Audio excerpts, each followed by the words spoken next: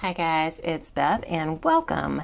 Today is The Joy of Blue. This is a collaboration hosted by Sarah from Crafting and Relaxing, and her favorite color is blue. And so she started this collaboration just to encourage others to craft with the color blue.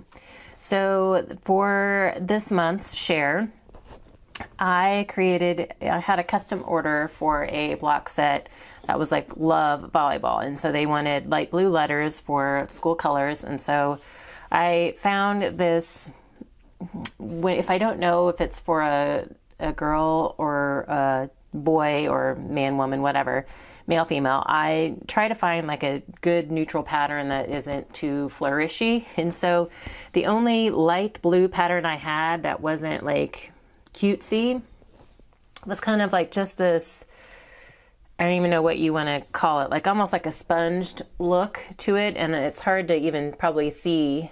I don't know how well the detail shows up, but um, so it's got like a little bit of white distressing in it, and so I decided to go with that and just used my silhouette to cut down the letters for L, V, and E out of that blue.